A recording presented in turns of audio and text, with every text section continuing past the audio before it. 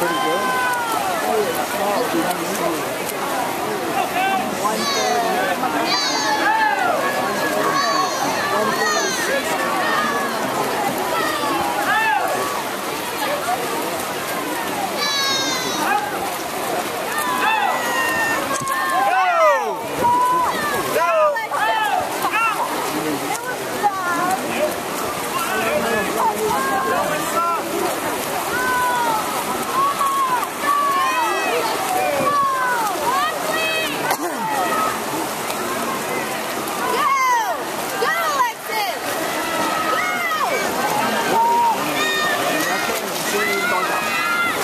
gói xe rồi thêm rồi. Dạ.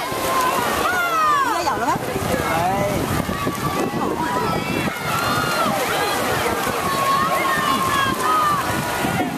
ngoài Mexico